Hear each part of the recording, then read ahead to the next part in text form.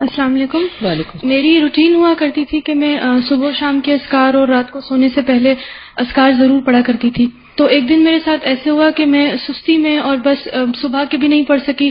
پھر شام میں بھی میں سوچ رہی تھی، ابھی پڑھتی ہوں، ابھی پڑھتی ہوں اور پھر نہیں پڑھ سکی۔ اور رات میں بھی اسی طرح ہوا اور میں سو گئی۔ تو رات میں تین بجے کے قریب میری آنکھ اپنے کمرے میں شور سے کھلی۔ تو میں نے اپنے سامنے تین ڈاکوؤں کو دیکھا جنہوں نے اپنے چہرے کور کیے ہوئے تھے۔ اور ہم رات کو دروازے بند کر کے سوئے تھے، میں اور میرے ہسبینڈ لیکن وہ کھڑکیاں کھول کر اندر داخل ہو گئے اور ہمارے بیڈ روم کے بھی اندر داخل ہو گئے۔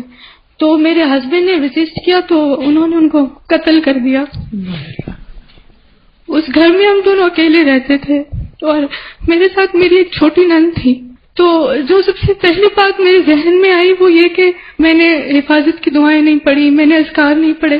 اور اس وقت جس طرح ہم سو کر اٹھے تھے بغیر دوپٹے کے وہ بیڈ روم کے اندر اور گھر کے دروازے کھلے اور ہم لڑکیاں اکیلی اور تین نقاب پوش ڈاکو، اتنا خوفناک منظر تھا اور اس وقت مطلب میرے شوہر خون میں لت پت میرے سامنے آخری سانسیں لے رہے۔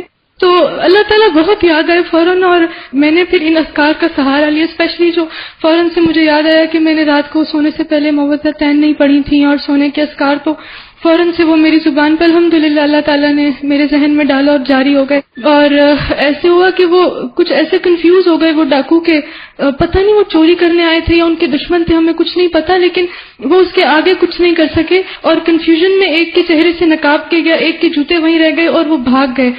اور میں گھر میں اکیلی تھی، لیکن الحمد للہ اللہ تعالیٰ نے جو ہی میں نے یہ اسکار پڑھنا شروع کیے۔ میں نے اپنے اندر ایک ایسی غیر معمولی طاقت محسوس کی۔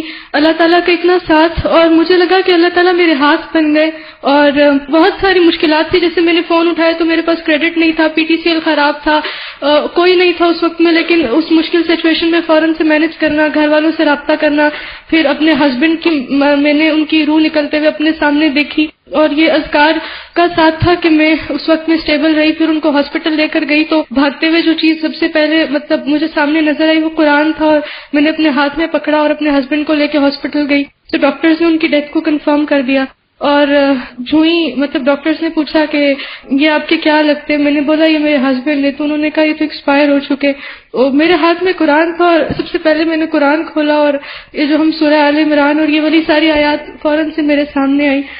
تو کہنے کا مقصد یہ ہے کہ اس سارے وقت میں جو چیز میرے ذہن میں آ رہی تھی کہ میں میں حفاظت کی دعائیں نہیں پڑھ سکی، میں سونے سے پہلے یہ اذکار نہیں پڑھ سکی، اور الحمدللہ جب میں نے ان کو اس وقت سارے وقت میرے زبان پہ یہ اذکار تھے تو میں نے اپنے اندر ایک ایسی طاقت محسوس کی جس نے اس وقت مجھے اتنا نڈر اور بے خوف بنا دیا کہ میں اس ساری سچویشن سے ایسے گزر گئی کہ مجھے پتا نہیں چلا۔ میری شادی کو صرف چھ مہینے کچھ دن ہوئے تھے۔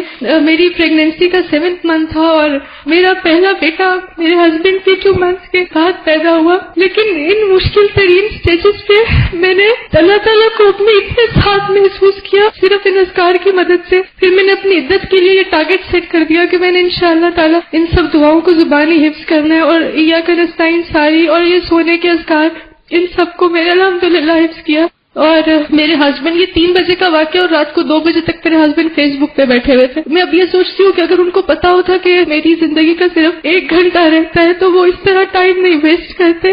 بس اپنی موت کے لیے ہر وقت تیاری ہو اسپیشلی سونے سے پہلے ہمیں موت کی بہت زیادہ تیاری رکھنی چاہیے۔ اور اب الحمدللہ میں نے نسکار کو اپنا اوڑھنا بچھونا بنا دیا اور جب میں ان کو پڑھتی ہوں تو میں بہت زیادہ سیکیور فیل کرتی ہوں۔ اور اگر کبھی یہ مجھ سے مس ہو جائے تو میں کانفیڈنٹ نہیں ہوتی میں بہت انسیکیور فیل کرتی ہوں۔ اور یہ آپ نے بہت درست بات کہی کہ رات کو سوتے وقت ہمیں نہیں پتا ہوتا کہ ہمارے آس پاس کیا ہو رہا ہے۔ ہم بے خبر ہوتے ہیں۔ ان چیزوں کو معمولی نہ سمجھے یہ اللہ کا کلام ہے۔ دو مہینے پہلے اس گھر میں شفٹ ہوئے تھے۔ جس دن میرا اس گھر میں پہلے دن تھا میں نے ایگزیکٹلی ایسا ہی خواب دیکھا اور حالانکہ یہ چیز میرے علم میں تھی کہ پریشان خواب کو شیئر نہیں کرنا چاہیے، لیکن میں خواب میں چیختی ہوئی اٹھی اور میرے ہسبینڈ فوراً سے جا کر بولا کہ کیا ہوا، تو میں نے ان کو اپنا یہ خواب سنا دیا۔ انہوں نے کوئی اچھی تعبیر دینے کے بجائے انہوں نے میرا مذاق اڑایا اور پھر میں نے اپنی کزنس اور اپنی بہنوں سے شیئر کیا۔ مطلب میرا فوکس خواب پر نہیں تھا میں اس بات پر وہ کر رہی تھی کہ ہاں میرے ہسبینڈ نے آگے سے ایسے میرا مذاق اڑایا اور یہ بات۔ لیکن کل جب میں یہ بات پڑھ رہی تھی کہ وہ چیز پیش آ جاتی ہے تو مجھے پھر یہ یاد آیا کہ ایسا نہیں کرنا چاہیے نہیں سنانا چاہیے ایسا بالکل۔